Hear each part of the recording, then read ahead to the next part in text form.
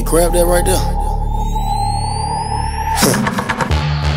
Are you ready? Oh. Is you ready? Ready. You say you ready. Oh. Whole squad ready. Ready. Is you ready? Huh? Are you ready? Ready. Is you ready? Whole squad ready. We came here to see Jet. What you got? Oh.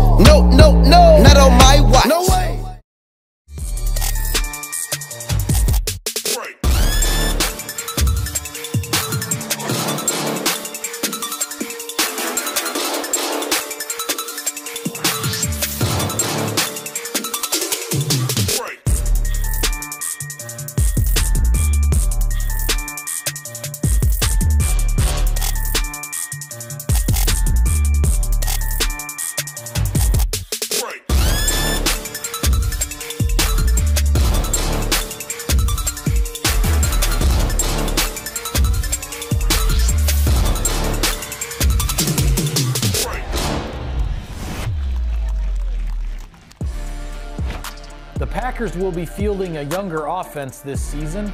While there is plenty of potential across the board, success in this league comes down to one thing.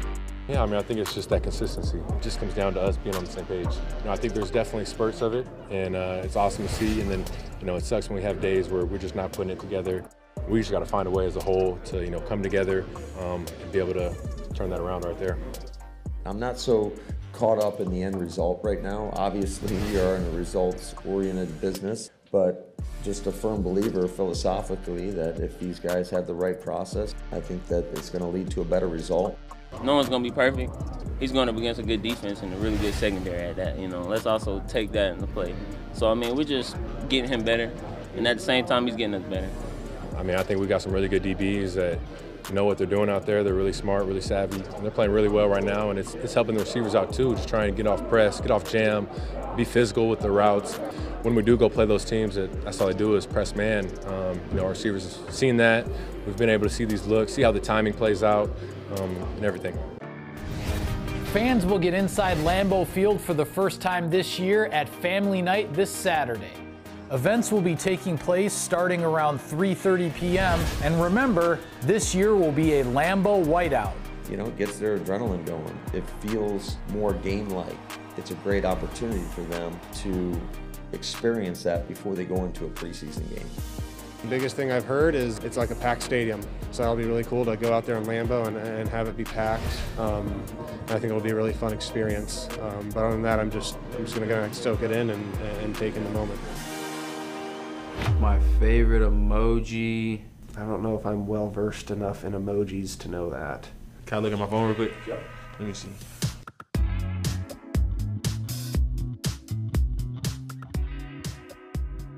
really trying to think which one do I use the most. Uh, definitely the laughing, crying face. The laughing with crying emoji. Probably just the laughing emoji. the laughing emoji. Definitely the laughing face. I love comedy. Cries and he laughs when I don't really want to respond to somebody. Just hit that one a few times and send it on.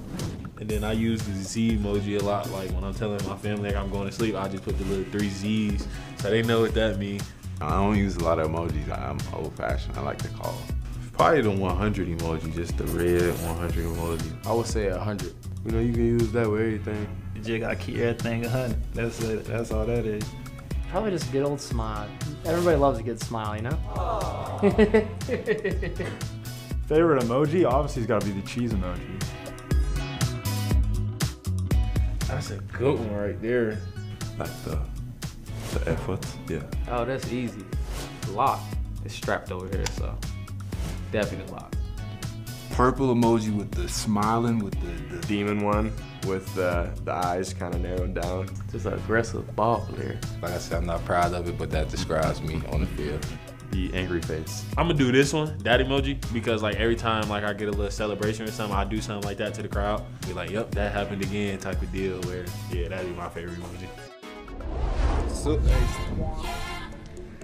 you might want to answer this, bro. Okay, hold on, hold on. All right. Uh.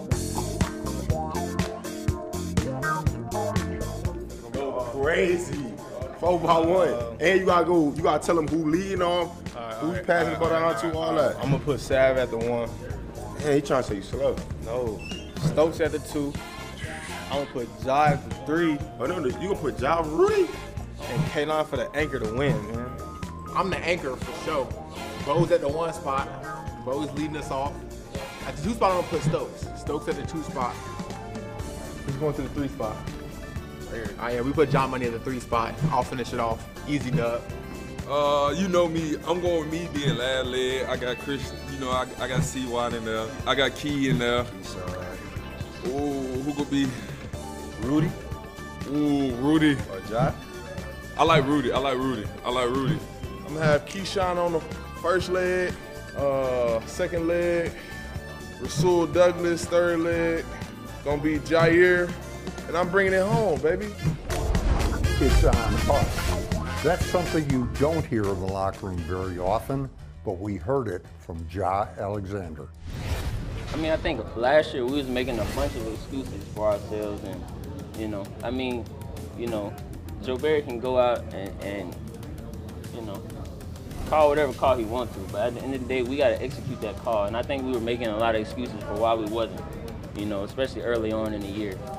At this point, like, we are good enough on the, in the defense to like execute the call, you know. So it's not, I don't think at this point it's about the call; it's about how we execute, you know. So I think that's the biggest thing that that we've come together as a defense.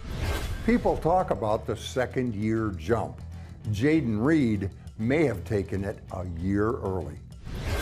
I'm definitely more confident. I, I think confident is the word. I never want to get too comfortable, but um, I'm definitely more confident out there playing faster, playing with more speed, as you guys can see.